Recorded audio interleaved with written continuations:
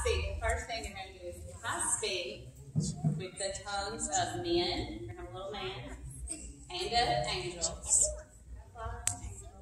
But have not love. Shake her head, no love. This is our sign language for love, but do not have love. Then I become a noisy gonger. Hold our gong, hit it, and a clanging cymbal.